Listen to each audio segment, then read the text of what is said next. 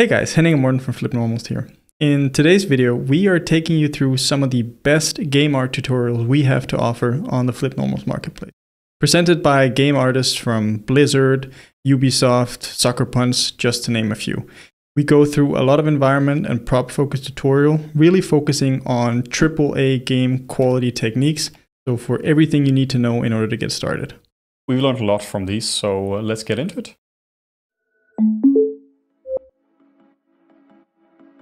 Before we get into the products, just want to remind you that everything is currently on sale 40% off on the FlippedNormals marketplace. So if you see anything that you like in this video, make sure to jump on over to the marketplace and pick up a copy.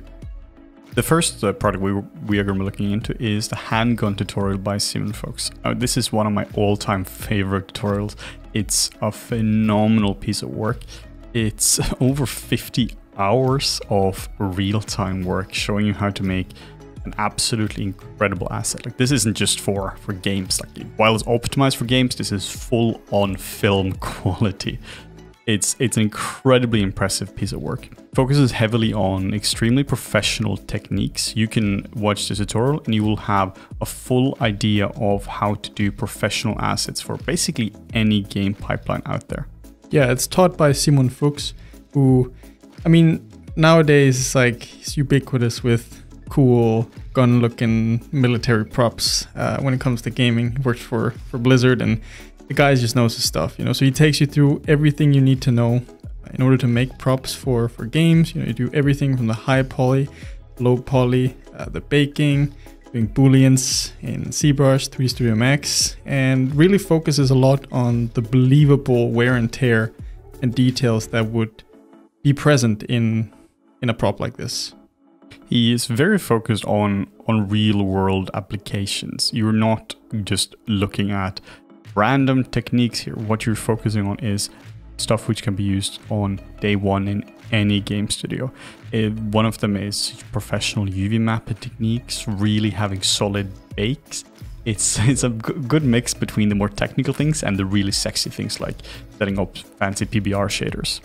He uses uh, Substance Painter to really do the do like really high level texture painting and then making our amazing materials there and then finalizing up with uh, beautiful renders in Marmoset, which are then enhanced in Photoshop so that you can not just make an awesome prop with great models and textures, but also have a really fancy portfolio piece like you can see in the gallery.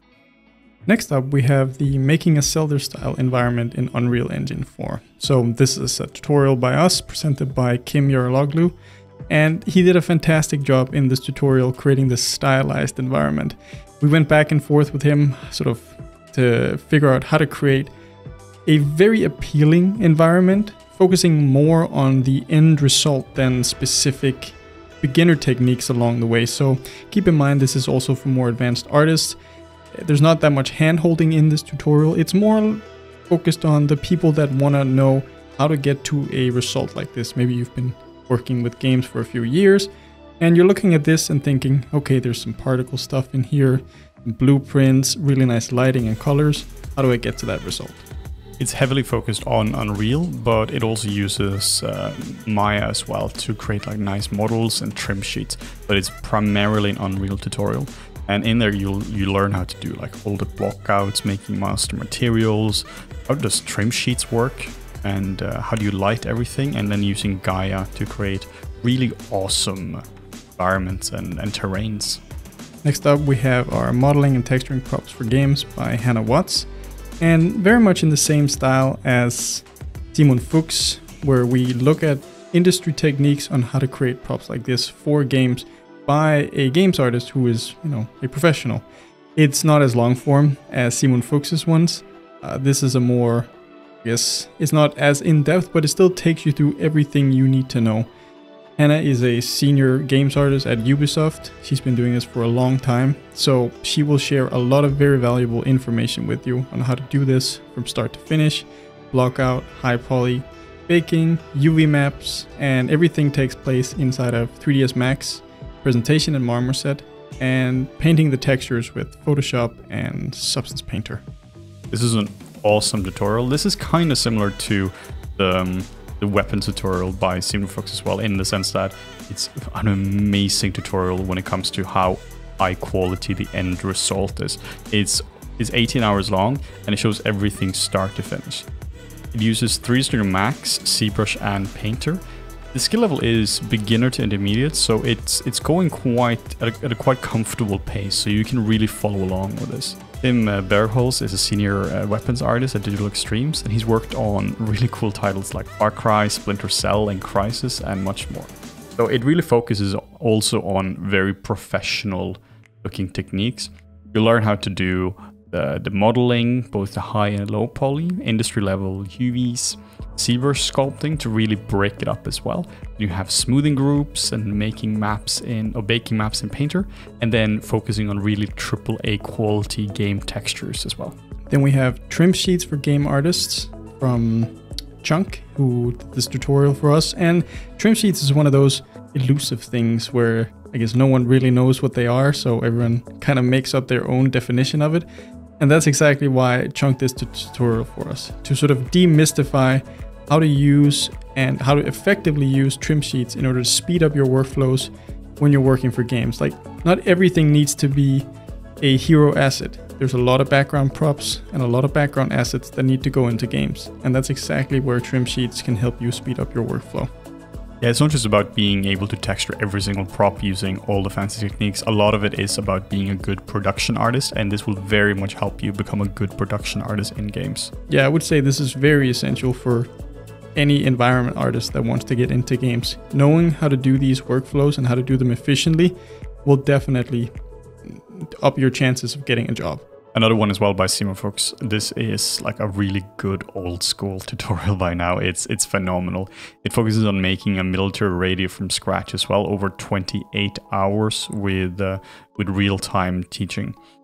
It's it's really essential knowledge for for all game artists because this also focuses on general steps involved from doing like the block out in Max, where he focuses heavily on design principles, making the high poly, really making optimized low poly for games. How do you do a professional level UV layout, making color ID maps, working in Substance Painter with bringing both the high and low poly, doing all the fancy baking, how to fix baking errors, which is the bane of every game artist's existence. Yeah. Authoring mat advanced materials and then presenting your work in Marmoset again with a focus on making beautiful renders for your portfolio. And that's one of the things that I think Simon Fuchs does so well. He really nails the, the presentation, which in the end is one of the things that are the most important, especially when you're presenting the game studios. Then we have fundamentals of modular kits. Now, this might seem like a, I guess, a very strange topic, but when people first get into games, you know, it's really about this tutorial teaches them how to think more efficiently as, as with the trim sheets, making having a modular approach when you're modeling can really speed up your workflow. So that's what this tutorial focuses on, sort of changing your mindset and how to plan ahead and not just jump in, start modeling a corridor, like for the, this example, for we have this sci-fi looking corridor, how do we plan it out, make modular pieces that we could then put together in order to speed up the entire workflow. This is a really awesome series by Taylor Smith, who just finished work on Ghosts of Tsushima at, at Sucker Punch. This is a tutorial which focuses far more on fundamentals than how to actually the technical day-to-day. -day. Fundamentals are so important because they determine why you do everything you do. This, this tutorial is composed of two parts. The first part focuses on shape and general composition, understanding what shape language you use, and understanding composition in 3D space. And then part two of it focuses on lighting and color. And with those four elements, you really have a lot of tools which you can use to create stunning environments. While this is fairly low poly and, and simple, it the concepts can be used to create anything. It's kind of like thumbnailing, where you're leaving a fancy environment literally on a piece of like a piece of cloth or like a like a post-it note, and you can scale that up to make make the most epic scenes. It's similar in this tutorial. You use simple tools to create long-lasting compositions to really make your portfolio stronger. And we have character modeling and texturing for games by Nexttut. So this is a great tutorial for anyone looking to get into games. It focuses on a stylized pipeline, which at times can be easier than just jumping into AAA sort of graphics, if you will. It teaches you basics, the fundamentals of everything sculpting, retopology, UVs, baking, poly painting, and then finally texturing as well. Goes through everything in Maya, in Substance Painter, doing the retopology in Topogun, and adding additional details in ZBrush. It's over 23 hours long, so again, quite in depth and keeping in the style with Nexttut's tutorials. Everything is shown to you from start to finish, no skips anywhere, so you can be sure that you'll be able to follow along. It's a nice mix of organic and hard surface, which is why I think it's great for beginners because it really teaches you the best of both worlds and when to use what. Then we have uh, another environment tutorial, but this one is more stylized. This is more something World of Warcraft or maybe Diablo, where you're focusing on making this little diorama start to finish. You're starting off with creating a quick block out, and then you'll take this further and uh, going through all different steps, including sculpting and texturing, and then finally presenting your work. Then we have a Victorian style game environment by Victory 3D, presented by Emiel Sleegers. He really he pops up all the time, I feel like. uh, this is a massive tutorial. It's 43 hours long and it takes you through how to create this entire environment from start to finish. It's, yeah, I don't know. It's a massive tutorial that goes through a lot of industry used techniques. You're creating modular pieces, creating all the pillars, the doors, roof, the floor, and how to use all of that inside of Unreal Engine.